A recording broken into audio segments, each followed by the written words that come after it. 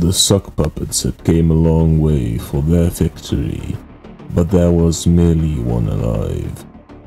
The last one realized that he had no way of living, that the human oppression will always rule.